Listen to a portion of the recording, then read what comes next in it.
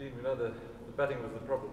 Um, how confident are you that, given South Africa's domestic structure and the lack of Test cricket, for instance, that, that, that you can fix it? Where do you go to fix the batting if, if domestic cricket isn't strong enough to, you know, give us Test players?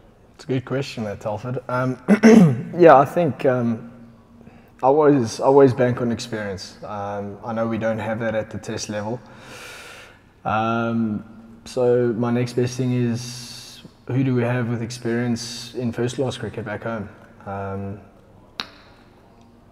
is that the right solution? We don't know yet. Um, we still got a few months before our next series, and we've only got a handful of four-day games at home before we leave to Australia. Um, so yeah, um, that's that's kind of the the way that I'm gonna word it going home. Um, it's a tough thing now because we guys have to learn the toughest formats uh, without not a lot of experienced heads around them, which is which is always something we were aware of because of the, the amount of guys we had retire uh, back to back.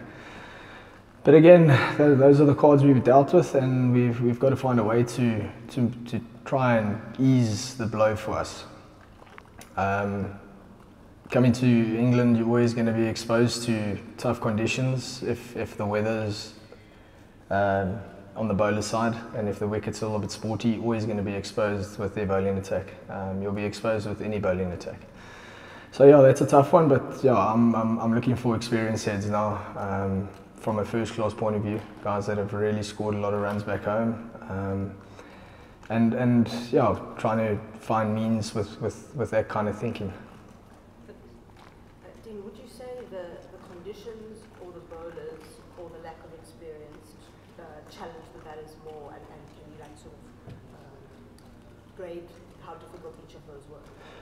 I think lack of experience and the lack of exposure to Test cricket, um, the lack of exposure to UK conditions with the ball swinging and nipping. Um, we were also exposed to the toughest batting conditions throughout the, uh, this test, especially um, where the ball was nipping quite quite a lot. Um, up there with some of them, yeah, it was, it was up there with really tough conditions even for myself, and I've got relatively decent amount of experience. So I can only imagine how the guy who's only got one or two tests on his belt must feel. Um, but yeah, it, it, it, was all it was tough all around. Um, I can't I can't can't remember the three things that you want me to put into place there. But I think the lack of experience and the lack of exposure to those kind of situations kind of work hand in hand. Julia, Yeah. Um, Dean, just as an experienced test player, how hard is it now with the way schedules are? I mean, there's sort of 11 days without the warm-up game. The guys you brought in for this match haven't played for weeks on end.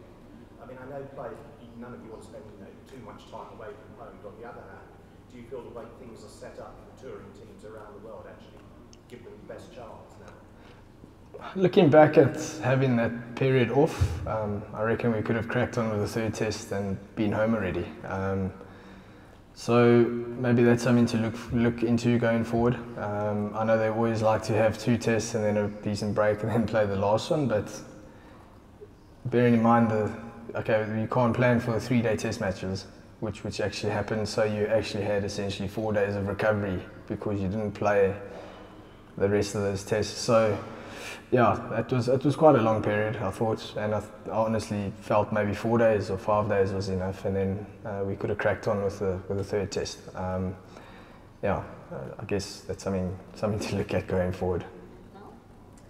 Um, you said before this it was like a World Cup final for you.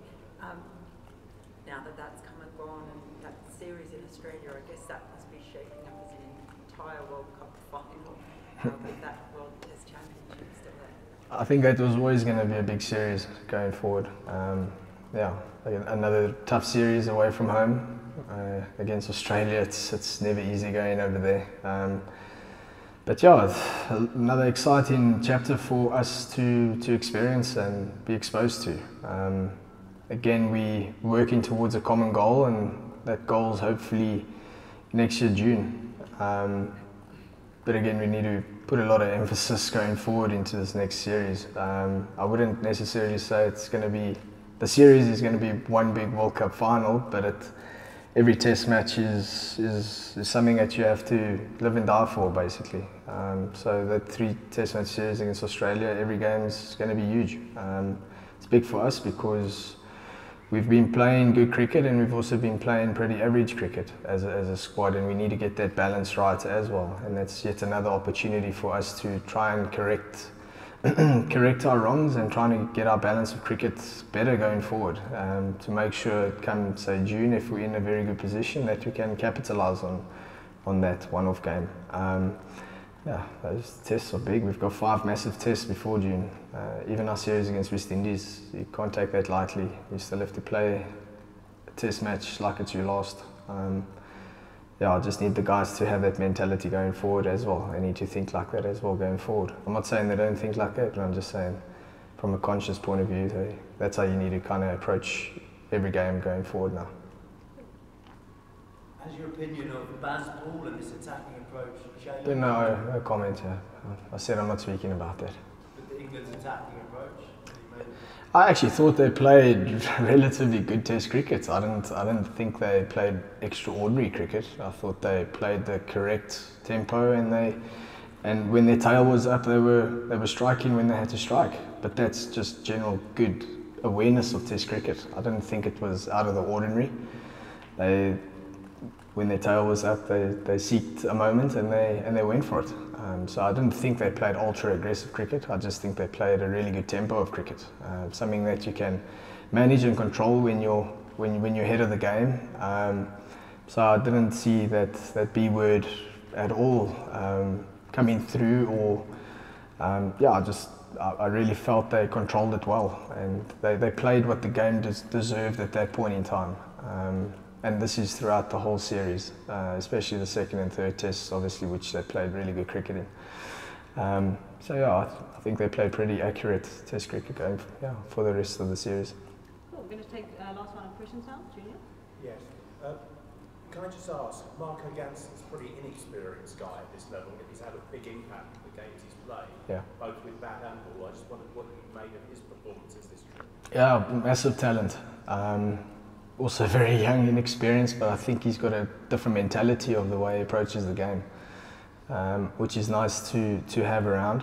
Um, When you say different mentality, what do you mean exactly? I, I, I would, well, just seeing the way he plays the game, he's got two bites at the cherry, being all rounder as well. So if the one discipline lets him down, he knows he can be, he can sort it out with the other discipline. Um, but I do think he approaches the game a little bit more with a positive mindset.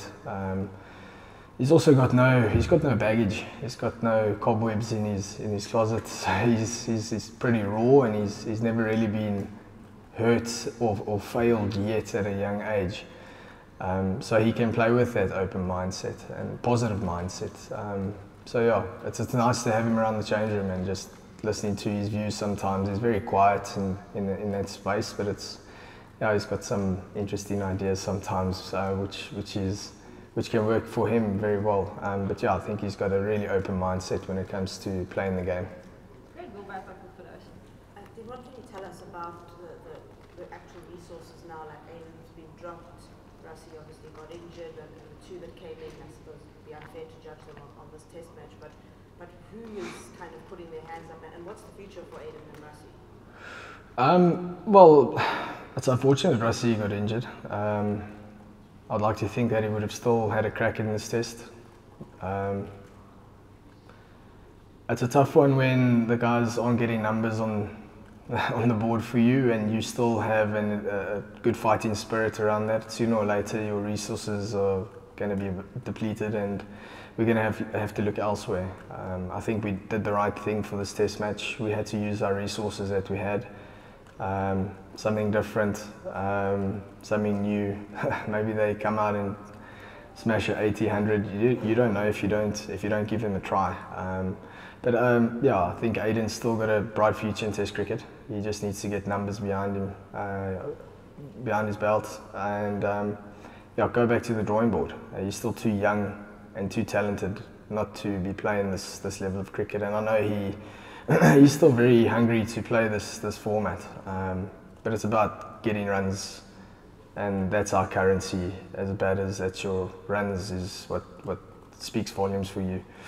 Um, so he has to get when he gets those opportunities to potentially play a four-day game or whatever the case is, he's, he's got to nail it like he's done in the past when he was left out and he went back home and he, he nailed four-day cricket and he scored a he scored a lot of runs and uh, he got his opportunity again.